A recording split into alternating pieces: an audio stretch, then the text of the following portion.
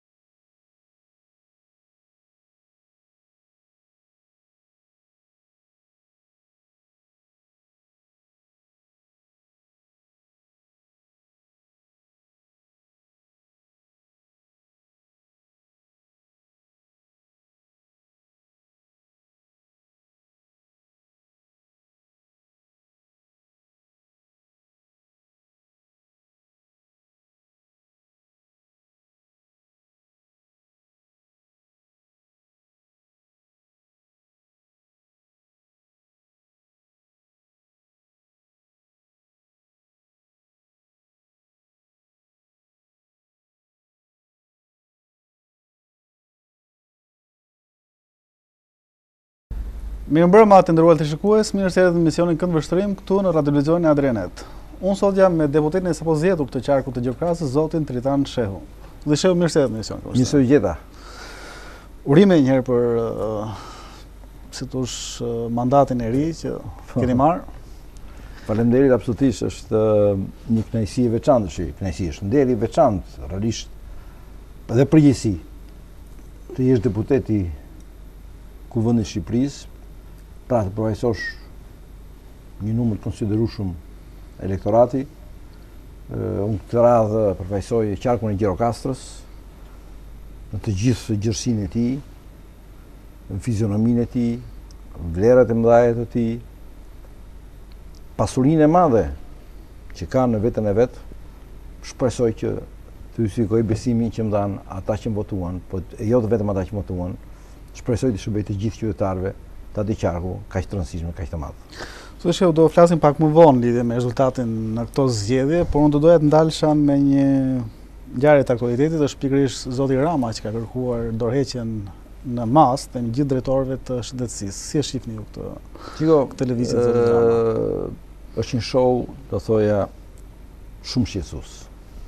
Kjo po ndodh. Nuk është vetëm puna me drejtorët e sistemit shëndetësor. Pa dyshim mund të përqendrohem më shumë te drejtorët e sistemit shëndetësor, se është një sistem që unë e njoh më mirë. E vlerësoj dhe kam ide të qarta për problemet e mëdha që ka dhe për zgjidhjen e problemeve të tyre. Po s'është një problem i cili ka përfshirë, një show i cili ka përfshirë sektorët më të rëndësishme të vendit, me disa shkarkime në formë reprezalje ndaj drejtorëve të rëndësishëm, të institucioneve mjaft të rëndësishme edhe thelbësore në një vend. Unë e shoh me shumë shqetësim këtë gjë. E shoh si një simptomë të rrezikshme për demokracinë shqiptare. Unë nuk di nëse dikush mund të ketë një shembull tjetër të tillë të ngjashme në një vend demokratik. Nuk flas për Kubën, nuk flas as për uh, Irakun e Sadamit, unë flas për vendet demokratike, nuk flas për vendet jo demokratike, ku kryetari i shtetit burgos me qindra, pushon me mijëra, apo bën të tjera veprime arbitrare dhe aspak në përputhje me principet e demokracisë. Pra, Zoti Rama, siç duket në këto veprime, ka për model ka për simbol të tij, ka për udhërrëfyes të tij, udhëheqës jo demokrat. Së paku udhëheqës autokrat.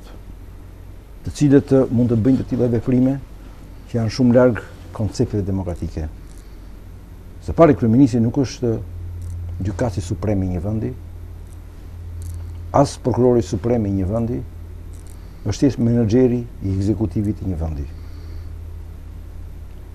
Pse po e bën? Pra, një veprim i tillë, siç e thash, nuk mund të ndodhë në asnjë vend demokratik. Nuk mund të di, nuk ka asnjë vend demokratik një shembull ku kryeministri thërret drejtorët e një sektori dhe i pushon të gjithë brenda ditës ose i kërcënon duke thënë jepni dorëheqjen. Dhe ata si mjeranë japin dorëheqjen si lepurusha. Japin dorëheqjen në mënyrë të turpshme, mbasi janë denigruar, janë shtypur, janë shkelur me këmbë, janë ofenduar.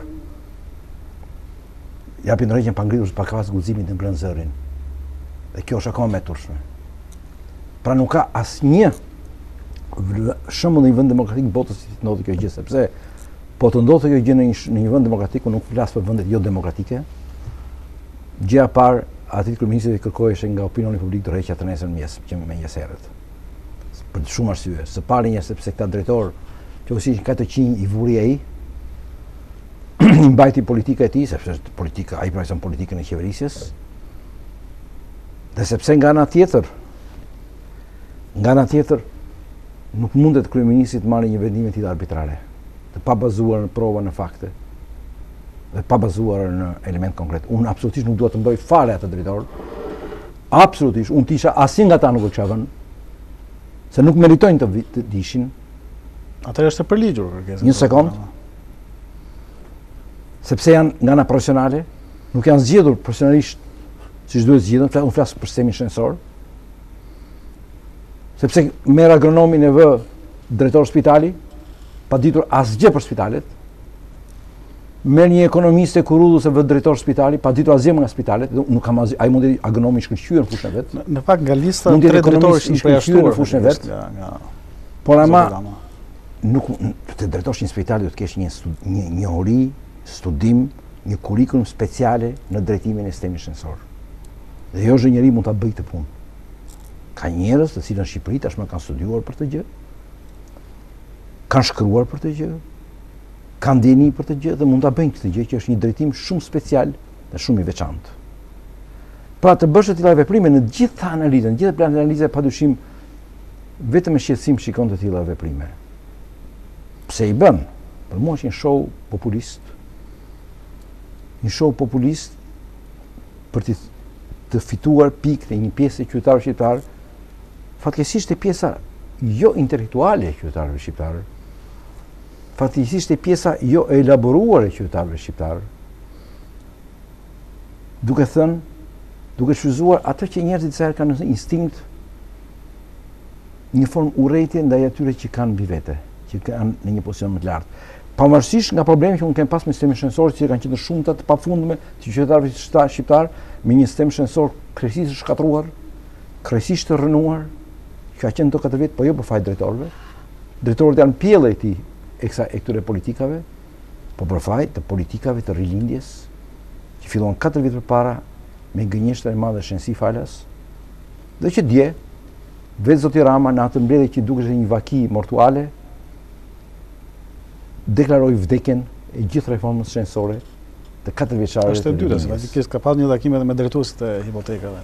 Nuk, unë thashë, është e njëjta gjë në tërësi si, si fizionomi, si mentalitet, si veprim. Unë përqendrohem më shumë në sistemin shëndetësor sepse thashë është sistemi që unë e njoh. Dhe këto probleme unë i kam ngritur që në 2013-ën. Unë kam paralajmëruar që në 2013-ën në debatet që kam bërë me kolegët e majtë, kur më dhanë idetë e tyre si të organizohet sistemi shëndetësor, i thashë jo, nuk në këtë mënyrë ky është është i vdekur ky sistem shëndetësor. Sepse ajo reformë bazohej në dy koncepte të gabuara. Mbi irrealitetin dhe së dyti, mbi hapësirat e mëdha korruptive. Dhe, dhe ndodhën të dyja. Krijuam, u krijua një sistem shëndetësor, apo më mirë të themi, u shty sistemi shëndetësor drejt linjave që çuan në një varfëri të thellë, sistemi më i varfër shëndetësor në Europë, më i varfër se Moldavia, një sistem shëndetësor ku numri i mjekëve ka rënë në mënyrë drastike, dhe jemi 1.12 mjekë për 1.000 banorë, kur Maqedonia ka 2.7 dhe Europa mesatare ka 4, Sistemi shëndetësor me numrin më të ulët të shtretërve në Europë dhe në rajon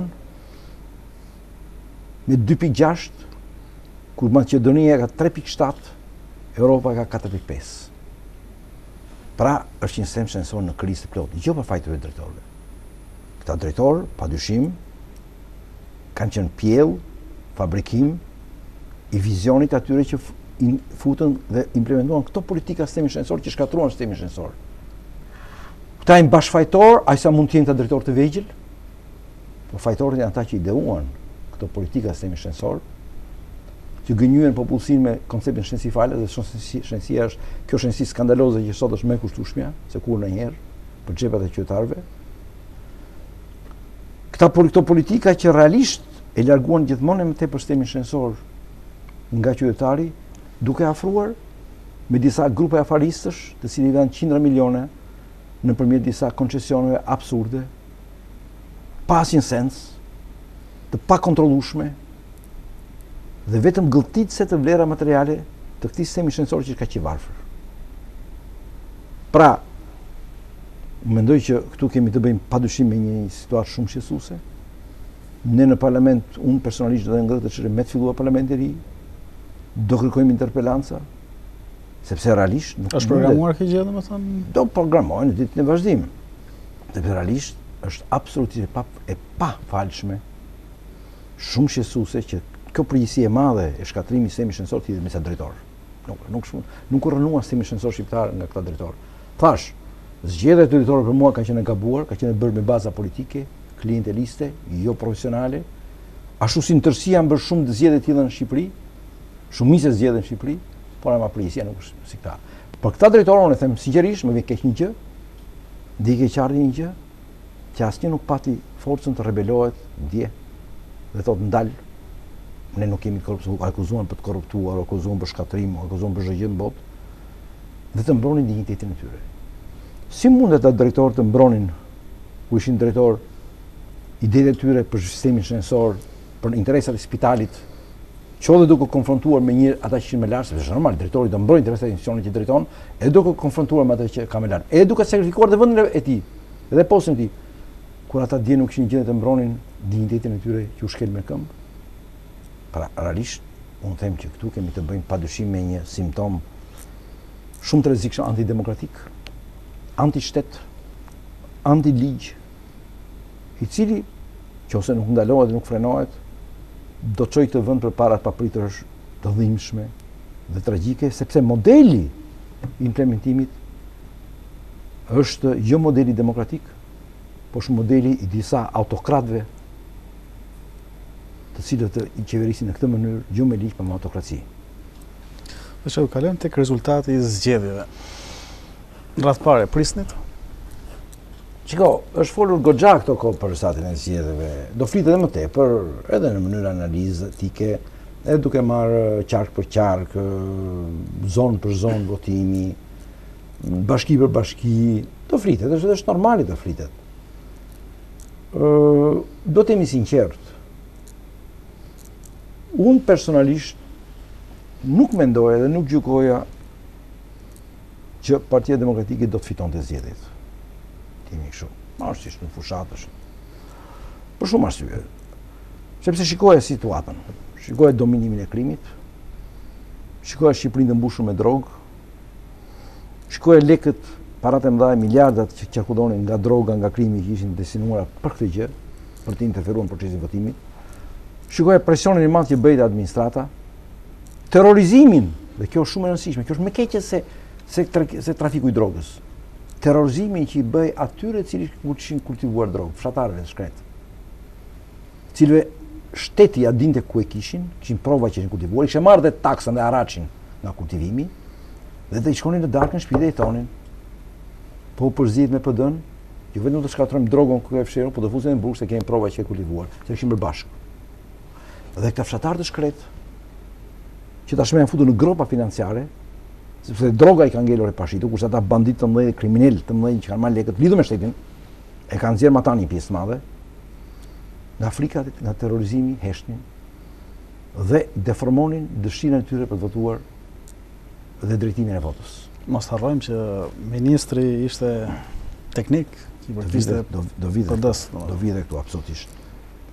Pra, të mendoje që në këtë situatë mund të fitoje zgjedhjet, mua më dukej e pamundur, them të drejtën. Megjithatë, ne punuam fort. Rezultati si numra ishte më i papritur nga ç'e mendoja. Edhe këtë duhet ta them, duhet ta them. Prisja më shumë. Prisja më shumë. Po, dua të them këto dy gjëra. Ju thoni që ministri ishte i PD-s ose i opozitës. që është gjashtë shtatë ministra ishin të opozitës. Po unë mendoj se është iluzive të mendosh që gjashtë shtatë ministra vetëm në një ministri, në tre javë e gjysmë se kaq ishte koha, do të përmbysnin Shqipërinë. Ja, nuk ishte kjo. Nuk mund të ndodhë një gjë e tillë. Dhe ne të gjithë ishim koshient që nuk mund të ndodhë një gjë e tillë. Atëherë ju mund të bëni pyetjen, pse u pra mos? Pse u bë çadra? Pse është në rrugë? Unë them që ishte zgjidhja dhe zgjedhja më e mirë e mundshme për kushtet konkrete që ishim ne. Çadra që u ngrit atje dhe qëndroi tre muaj, nuk mund të akuzohet si shkaktare e problemeve. Ajo çadër bëri një gjë, evidentoi problemet. Vuri gishtin në plagë. Bëri dukshëm të duken problemet e mëdha si droga, kriminaliteti, shitblerja e votës, kriminalizimi i komisioneve, duke folur përditë për to. Pra, ajo çadër nuk i evident, nuk i krijoi ato probleme, problemet ishin realisht ajo i nxori në sipërfaqe. Kjo është një meritë e madhe e asaj çadre. I bëri të dukshme para opinionit publik shqiptar, para opinionit publik ndërkombëtar dhe në fund të fundit arriti bëri të mundur që ne të realizojmë një pjesë të madhe të kërkesave tona, mos harroni, s'është gjë e vogël ndonjë shtatë anëtarë qeverie në fund të fundit, apo një numër drejtuesh institucionesh qendrore. Në qoftë se Rama i pranoi këto ndryshime, i pranoi se i pranoi në bazë një presioni të madh që bëhej nga poshtë dhe nga jashtë. I pranoi sepse kërkesat e PD-s ishin të drejta dhe problemet që ngriti PD-ja qëndronin. Që ne sot kemi gojë të rihej të themi të flasim edhe një herë për këto probleme, padyshim kjo përforcohet nga fakti që ne ngritëm para zgjedhjeve në çadër çadër. Unë jam dakord me ju. Në një pikë. Ajo çadër u kthye në një simbol, një simbol të luftës kundër krimit, korrupsionit, drogës, kriminalitetit, shitblerjes votave, presionit mbi administratën, u kthye në një simbol të një thirrje për liri dhe për prestigj personal, por nuk arriti të kthehet në lëvizje. Kjo është e vërtetë. Ajo çadër u, u kthye në një simbol, por nuk u kthye në një lëvizje. Por një gjë, por ky fakt nuk do të bësh, nuk mund të bëj ty për të inkriminuar çadrën. Nuk u arrit pritshmëria e plotë nga çadra, unë jam shumë dakord, absolutisht se nuk u kthye dot në lëvizje, ngeli një simbol. Por ama edhe edhe simbol që ngeli luajt një rol shumë më pozitiv. Ai përmbushi misionin e mëtejshëm. Mbushi, përmbushi një pjesë të madhe të misionit saj. A, po të ish kthyer lëvizje, padyshim ne kishim fituar zjedhjet. Absolutisht. Po të ish kthyer në lëvizje mbarëkombëtare do ishin fituar zgjedhjet. Pse nuk u kthye? Nuk u kthye për shkaqe nga më të ndryshme, që do t'i analizojmë, nëse tani është shkaqe do orë të tëra. Ndoshta ishte edhe premature. Ndoshta edhe koha ishte e tillë, janë shumë faktorë. Mos ishte vonuar? Po e vonuar, dhe unë them as e vonuar, koha e tillë ishte në dispozicion. Ndoshta edhe janë shkaqe të përgjithshme të ishin. Edhe disa konjunktura të brendshme apo të jashtme të tilla ishin. që duhen pas. Por ama ishte zgjidhja më e mirë e mundshme për atë moment dhe dha produktin më të mirë të mundshëm për atë moment. Nuk dha atë që prisnim, pra nuk, thashë, nuk u kthye në lëvizje, ngeli simbol, por ama ngeli simbol i vlerave. Ngeli simbol i mesazheve shumë të qarta për demokraci, për luftën kundër krimit, kundër drogës, kundër korrupsionit, për prestigj të njerëzve, ngeli e tillë. Dhe unë mendoj në këtë mënyrë, ajo çadër është e tillë dhe ka vlera të tilla të pa, pa llogaritshme, të tilla. Dhe unë jam nga ata të cilët realisht e konsideroj në këtë mënyrë që ajo zgjidhi problemet, zgjidhi një numër bëri pati një efekt pozitiv në tërësinë e politikën e vendit dhe do vazhdojë të ketë efekte pozitive me mesazhet që dha. Mos harrojmë se nxori opozitën nga terri informativ që ishte PD-ja, që ishte futur sistemi. i dha fytyrë, gojë përpara opinionit publik. A, nuk arriti dot të krijojë përmbysjen e madhe, okej. Okay. Kjo është tjetër gjë, por ama, nuk mund të inkriminohet, nuk mund të akuzohet. Jo, jo inkriminohet, nuk mund të akuzohet çadra. Përkundrazi, çadra duhet konsideruar një simbol i rëndësishëm që u krijua, një zgjedhje shumë e duhur, shumë pozitive, racionale, por dhe ngeli deri atje në efektet e saj, nuk, nuk, nuk krijoi dot përmbysjen e madhe, okej, okay, kjo është tjetër gjë përse. Në ajo lidhet me shumë kontekste, pastaj lidhet me kontekstet e strukturave të PD, të kontekstet e brendshme të jashtme, lidhet me shumë shumë shumë kontekste tjera, që do analizohen, do shikohen dhe duke analizuar do do do bëhen edhe përmirësimet. Pra, një analizë jo e tipit bolshevik, jo e tipit të, plenumeve të komitetit qendror për të dënuar, për të për të denigruar persona, për të ndy, jo, jo për të krijuar luftra të brendshme, jo. Një analizë e cila do shkojë paralelisht me rikonsolidimin, ristrukturimin, riforcimin, rigjallimin e PD-së në tërësi. Që se rikëthejmë së Pra, një analizë e tillë që i shërben kësaj gjëje, jo një analizë, jo një analizë për të qenë analizë për analizë, dhe për të çuar në luftëra të brendshme. Jo, në asnjë mënyrë jo. Shumë prej faktorëve që listohen, domethënë, si shkaqe të humbjes së Partisë Demokratike, është lista, marrëveshja, Basha Rama, domethënë sa dakord jeni ju lidhur me këtë. T'i marrim me radhë. Marrëveshja. Marrëveshja është një produkt normal i asaj çadre. Në fund do bësh një zgjidhje. A ndikoi tek rezultati? Pozitivisht po. Marrëveshja do bënte një zgjidhje. Ajo çadër do të donte një zgjidhje, ndyshe pastaj do ngelje jashtë jashtë procesit të votimit. Që për mua do ishte e pa e pa imagjinueshme.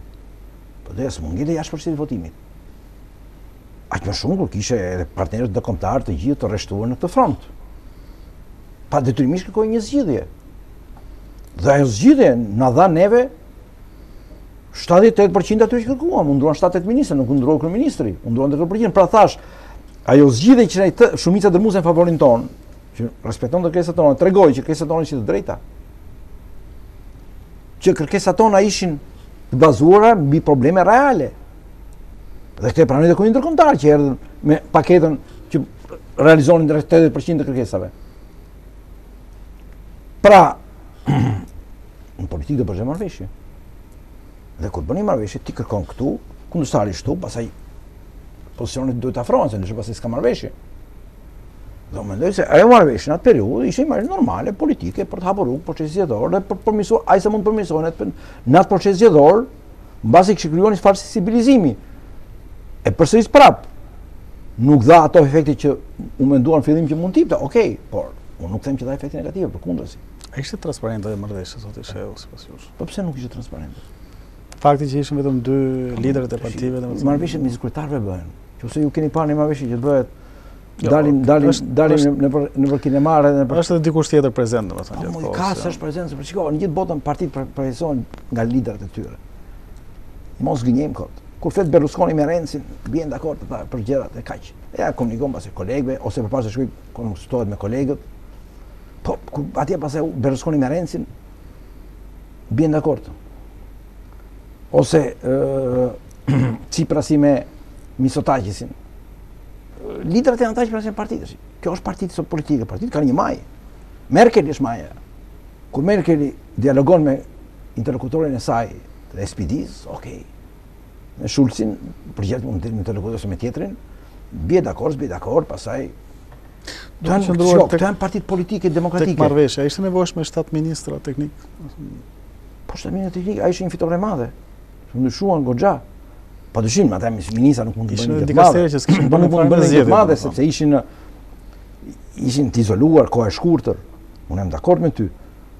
Por ama fakti që u bë ajo gjë është shumë pozitiv, tregoi që ne kishim drejt kërkesat tona. Se ishte një presion i madh që u bë Ramës që arriti të pranojë gjë të tillë. Kjo tregon që kërkesat tona janë të drejta dhe edhe për si pas, shkaqet mbi si bazoheshin kërkesat ishin reale. Pra, në këtë mënyrë, unë them që ajo gjë gjykuar me synë e kohës në momentin e caktuar dhe unë e konsideroj pozitive për momentin e caktuar ishte një zgjidhje që do bëhej ishte zgjidhje detyruar në fund të fundit ajo rrugë që hyri ajo protestë kërkonte pas edhe një zgjidhje kishte dy zgjidhje o nuk do merrje pjesë në votime o të gjeje një zgjidhje një marrëveshje e para për mua do ishte shumë e dëmshme me pasoja absolutisht të paimagjinueshme të brendshme e të jashtme E dyta ishte një zgjidhje racionale për të marrë maksimumin e mundshëm. Dhe kështu u bë. Por asgjë s'ka ideale. Shiko, në çdo gjë, çdo hap që bëhet politik, mund të gjesh qindra elemente pika të dobta, por ama ka edhe mund të ketë mijëra pika të forta. Pra, çdo gjë ka një balancë mes pikave të dobta dhe pikave të forta të çdonjë veprimi politik që bëhet. Unë mendoj se veprimet politike që nga çadra deri në fillimin e procesit zgjedhor pati më shumë në strategjinë e PD-s ishte e bazuar kryesisht me pika të forta. Pikat e dobëta ishin në minorancë ndaj pikave të forta. Që të qëndrojmë te lista, sa ndikoi ajo te rezultati i zgjedhjeve? Lista ishte një zgjedhje dhe një vendim i kryetarit të partisë, mori ai të gjitha vendimet, absolutisht ishte një, një listë e cila në çdo listë mund të ketë kontestime. Shiko, çdo listë, shiko, në fund fund e keqja e diku është i Sepse unë mendoj që ne nuk do të ishim të kënaqur në Shqipëri flas në tërësi, nuk flas për PD-në, flas në tërësi për gjithë forcat politike. Sikur të kishim nga 2000 deputetë për çdo parti dhe prapë unë besoj që akoma s'do të ishim të kënaqur. Kaq shumë deputetë. Për çdo forcë politike. Pra, do bësh një përzgjedhje në bazë të disa elementëve ku padyshim nuk mund të kënaqen të gjithë. Unë nuk kam qenë deputet në 2013, ose më mirë them, isha në një pozicion që ishte absolutisht e pamundur të fitoje. Unë e dija atë punë, ja unë punova në gjithë procesin, në gjithë fushatën elektorale 2013, shumë fort. Nuk isha deputet, vazhdova të isha anëtar i kryesisë, kryetar departamenti, aktiv në PD, në marrëdhënie ndërkombëtare, në marrëdhënie të brendshme. Okej, okay, unë tash jam prapë deputet, por ama mosqenia deputet në atë periudhë nuk më privoi nga pjesëmarrja në jetën politike. Përkundrazi, bashkë kemi qenë kaq herë në biseda. Po, ke qenë shumë po, aktiv tek kjo gjë. Nuk nuk nuk pra, okay, duhet, domethënë pikësynimi i çdo politikani është të jetë deputet, i politikanit ministër, por ama mosqenia deputet nuk do thotë që të privon të të jesh pjesë e jetës politike. Dakord, po kjo listë duhet të kalonte në kryesi si rregull, domethënë. Atëherë vetë kryetari i partisë i mori përsipër të gjitha atributet e bërjes së listës dhe është një proces i mbyllur dhe i i përfunduar me procesin tjetër që erdhi nga mbrapa me plebishit që prap konfirmoi zoti Basha. Si e patë mënjanimin e figurave si zonja Topalli. Nuk do të bëj komente për asnjë nga kolegët. Absolutisht unë nuk bëj asnjë koment për ai ishte një vendim që mori kryetari i partisë, ai deklaroi qartësisht që mori ai vendimet. Ai pastaj futi veten në një proces votimi të ri mbas zgjedhjeve. Duhet të jepte dorëheqjen. Dhe fitoi. Pas këtij rezultati? Duhet të jepte dorëheqjen. Shiko, në statut nuk thuhet gjë e shkruar, se çfarë duhet të bëjë kryetari i partisë kur jep dorëheqjen, kur fiton, humb zgjedhjet. Mund ta japi dorëheqjen dhe mund mos, mund mos kandidojë. Ne e kemi bërë këtë punë në të shtatën, mbas humbjes në të shtatën, bëri zoti Berisha në 2013. Kemi një precedent, domethënë e krijoi, si zoti Berisha. Sepse menduam që nuk do kandidojë më. Zoti Basha gjykoi që duhet të kandidojë më, përse është i vlefshëm, dhe pa dyshim mori një vendim të drejtë. Ngriu të gjitha funksionet e tij ekzekutive, meqenëse edhe, edhe zgjedhja e kryetarit ishte shumë e afërt nga procesi i mbarimit të pra periudhë shumë e shkurtër nga procesi i mbarimit të zgjedhjeve politike dhe zgjedhja e kryetarit, ngriu të gjitha... Por, Përse nuk u la një periudhë më e mëvonshme? Po sepse data ishte fiksuar në statut njëzet e dy korriku. Nuk është se ishte një da, ishte datë statutore. duhesh ai institucion që kishte miratuar statutin të mblidhej të ndryshonte statutin. Ajo është një datë statutore njëzet e dy korriku. Dhe unë e kam dëgjuar datën bile për herë të parë kur isha në Gjirokastër në fushatë elektorale nga ata që kontestonin zotin Basha. Thonë datë njëzet e dy korrik do të zgjidhet kryetari i partisë. Se kështu e ka statuti, kjo është e vërtetë. Pra ishte një datë e imponuar, ishte një datë e forcuar. Ishte një mur që s'mund kalohesh, ose duhet mblidhej pastaj një kongres, nuk e di, si është të ndryshohej statuti, gjë procedura të pamundura për atë moment që ishim. Gjithnjë duke gjykuar për momentin që ishim, hapeshin diskutime, hapeshin gjëra, që do të dëmtonin më shumë partinë. Pra ishte një datë e imponuar ajo. Kjo ishte historia. Dhe në këtë mënyrë mendoj që qëndrimi i zotit Basha ishte racional. Ai pranoi të votohej një anëtar një votë, përballë kishte një kandidat i cili nga ana e personalitetit nuk mund nuk lë, nuk mund të nuk mund, nuk mund ta kritikosh, nuk mund ta është një personalitet mjaft i njohur i PD-së dhe për opinionin publik shqiptar. Fitoi bindshëm zoti Basha. Ai po të zgjidhej kryetar i partisë me gjithë atributet e kryetarit të partisë. Ne unë e mbështes atë plotësisht. Absolutisht, të gjithë do ta mbështesim, të gjithë bashkë pastaj me atë si kryetar partie dhe me njerëz të tjerë do të ishim përpara për të bërë një luftë opozitare të fortë të qartë ndaj kësaj maxhorance e cila rrezikon realisht vlerat e demokracisë shqiptare. Për ne ka vetëm një rrugë tash. Ka krijuar edhe lëvizje, edhe lëvizje të reja. Për ne ka vetëm një rrugë, opozitë e fortë. Opozitë konstruktive, demokratike,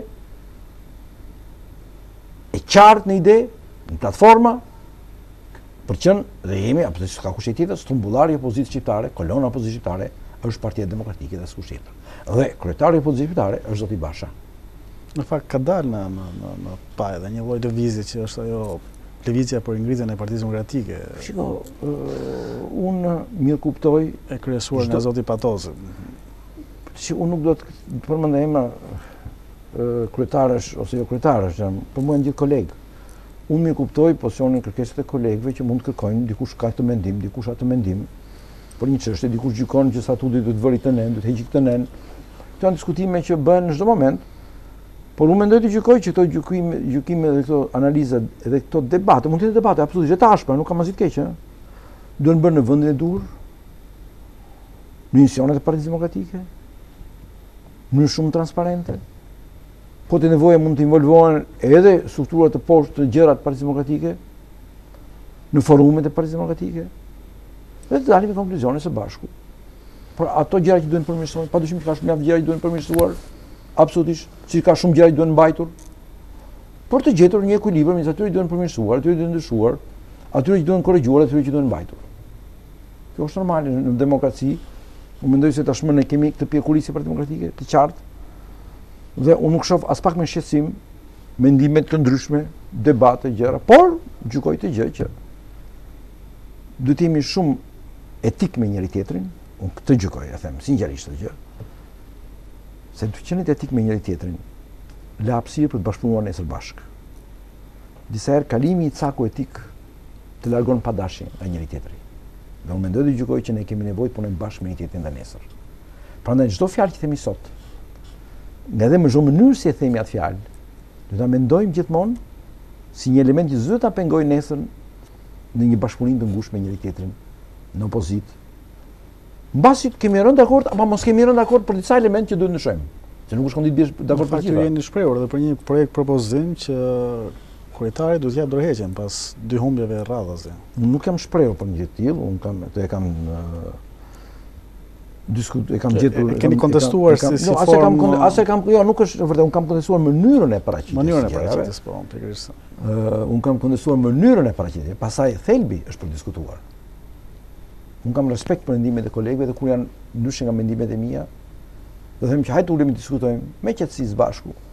Hajde dialogojmë, edhe debatojmë po të jetë nevoja, e të arrijmë një konkluzion pastaj.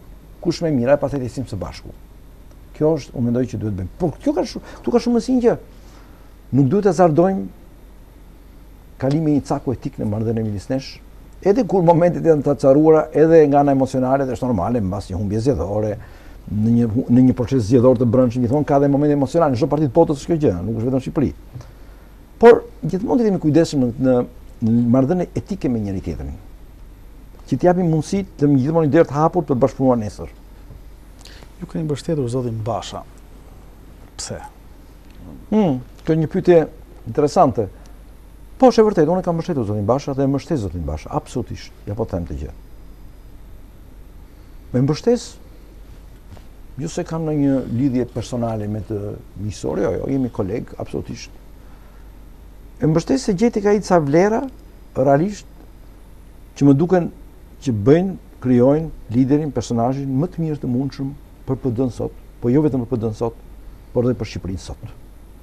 Dikujt kjo mund t'i duket çudi mbas humbjes që ne patëm. Unë përsëri insistoj. Zoti Basha për mua ka cilësitë më të mira reale që duhet të ketë njeriu që duhet të marrë në dorë fatin e Shqipërisë jo vetëm PD-së. Dhe unë e mbështes për këto gjëra, e mbështes sepse ka një shoh tek ai një vizion të qartë, perëndimor, absolutisht, shumë perëndimor, thellësisht perëndimor dhe civil, shoh tek ai një personalitet politik i cili nuk ka asnjë lidhje me botën e krimit, asnjë lidhje me botën e krimit. Bile nganjëherë kur kur bisedoj me ambasada me të huaj, kolegë të huaj dhe ja them këto gjëra, i them, "Shiko, zoti Basha, edhe po të dojë të lidhet me botën botën e krimit, nuk lidhet dot, se është natyra e tij që nuk e lejon të lidhet." Se është krejtësisht antipodi i botës krimit. gjej tek ai një njeri realisht që transmeton elaborim, kulturë, vlerat që i duhen Shqipërisë për një, për një hap perëndimor të saj. Pra, këto janë arsyet që, disa nga arsyet që unë e mbështes, edhe do ta mbështes zotin Basha në këtë proces, duke shpresuar që ne shpejt si Parti Demokratike të kalojmë problemet që kemi, të kalojmë vështirësitë që kemi, të bëjmë një opozitë të vërtetë dhe realisht të krijojmë përmbysjen e madhe që Shqipëria ka nevojë në një kohë sa më të shkurtër. Pyetja e fundit, zoti Shehu, ju keni zhvilluar edhe takimin e parë si grup i ri parlamentar i Partisë Demokratike. Çfarë u diskutua në këtë takim me zotin Basha? Jo, ishte një takim formal. Shiko, ishte një takim formal, ceremonial më, më tepër. Njohje midis nesh.